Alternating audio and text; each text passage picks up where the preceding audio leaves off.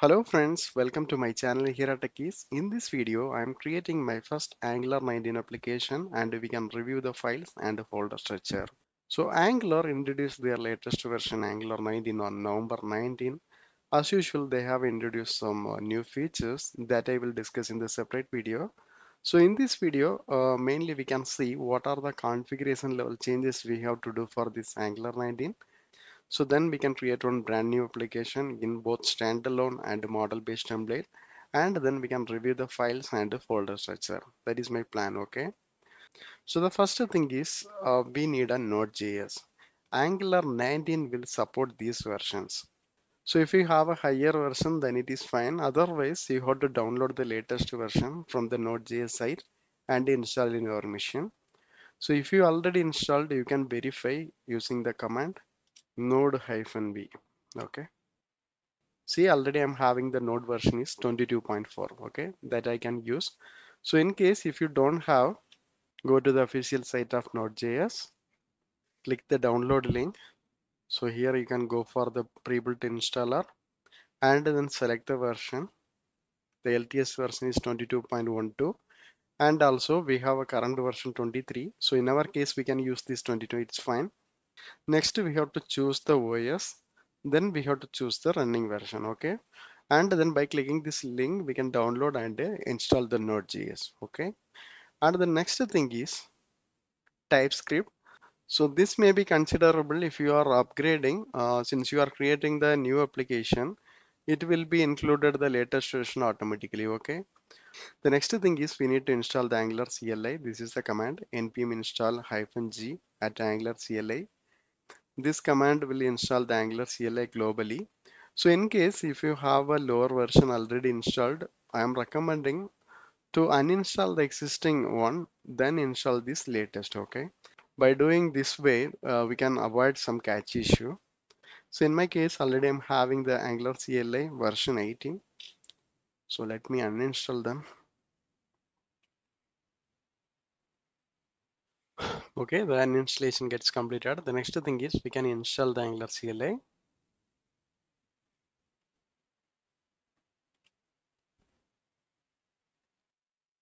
Okay, the installation gets completed. Uh, next, I can execute the ng version command.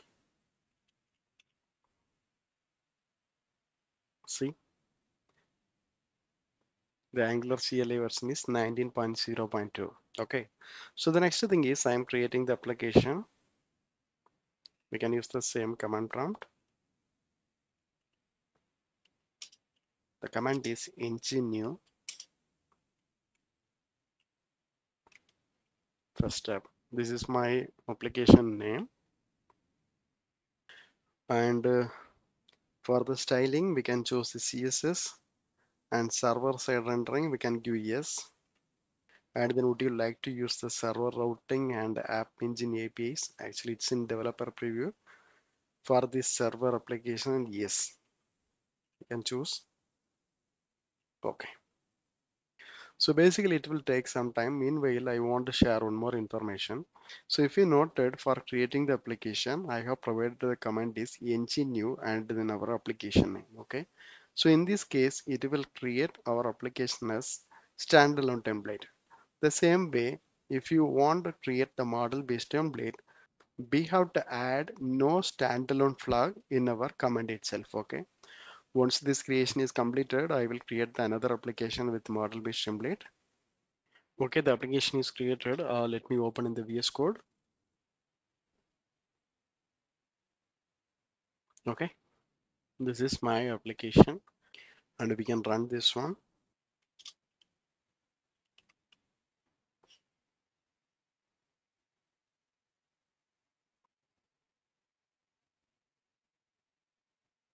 Okay, we have a same default template. Uh, here we have the links for the documentation and everything. So it's simply redirecting into our angular.dev tool. So if you want for any of the individual topics that we can check it from here. Okay.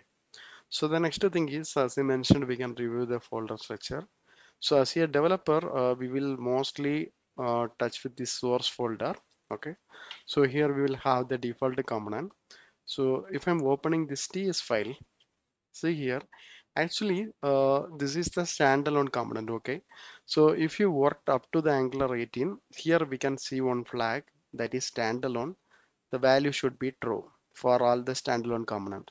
From this angular 19 they have marked the components are defaultly all are standalone. If there is no flag then it should be considered as the standalone component okay then you may have a question how we can identify if it is not standalone component so in this case we can have that flag standalone the value is false.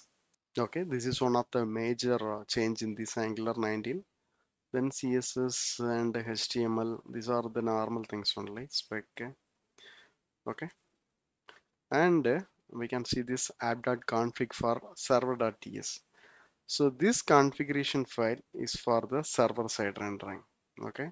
So already we have this app.config okay? It's for our normal config file or we can see this file in all standalone templates.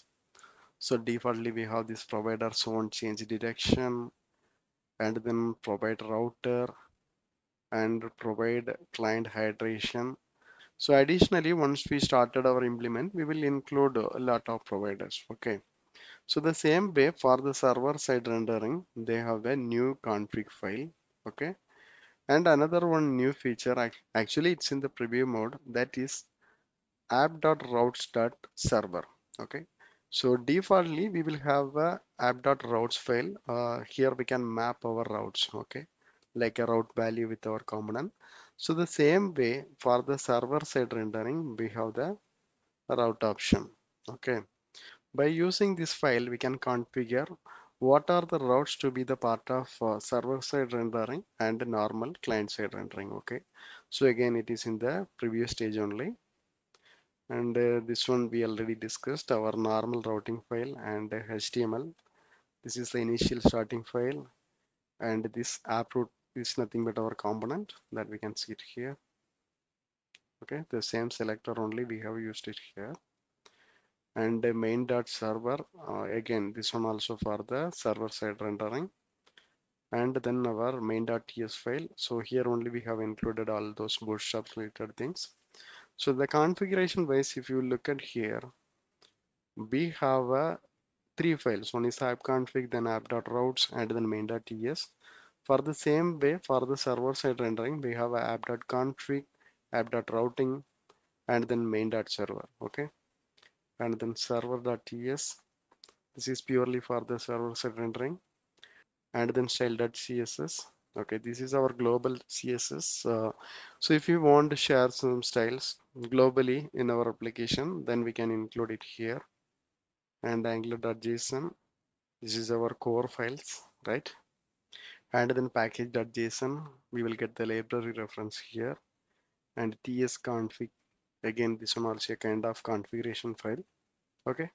And other files are same only like our previous version okay? The next thing is i'm creating another one application with module based template. So we can use the same path. The command is uh, ng new. First tab so it's not a standalone so i am providing no st okay. So let me create once again. Actually i'm not included that flag. No standalone. Okay. So again here also we can choose the style css and a server side rendering yes i can give. And a server routing this one also we can give yes. So anyway this one also it will take some time for creating the new application. Okay application is created. Uh, we can open in the vs code. Okay application is open. So again we can start from our source folder. So in this component side so in here we can see this app dot uh, routing dot module okay? Because it's purely based on the module. For the routing itself, we have one module file. And mainly if you look at the component side see this flag. So this is the one I have mentioned. Up to the Angular 18 uh, for all those standalone components we have this flag like a standalone true. So hereafter uh, in this component side if it is there is no flag then obviously it is the standalone component. If the flag is there and saying the value is false then it is module based component okay? So we have this app dot module. This module uh, declaration side we have this uh, app component was included. And then for the configuration purpose we have this app module right? And then main.ts file okay instead of the app.config here we have this app.module and for the routing we have this app routing module okay? So since we enabled the server side rendering we have a respective server side rendering files also okay? The first one is for the app module. See we have a app module.serve.ts file okay? The same way for the uh, routing see app.routes.server.ts file. And in this uh, main.ts also we have a main.server.ts file right? And other files all are similar to our standalone template like angular.json and package.json and tsconfig and all other files okay? So finally we are in the end of the video. I hope you got the idea how we can configure for the angular 19 application also the difference between standalone and module based template files and folder a difference still if you have any doubts or clarification please post in the comment box and also please don't forget to subscribe my channel so in my next video, we can review what, what are the new features are available in this Angular 19. Okay. Thank you. Thanks for watching.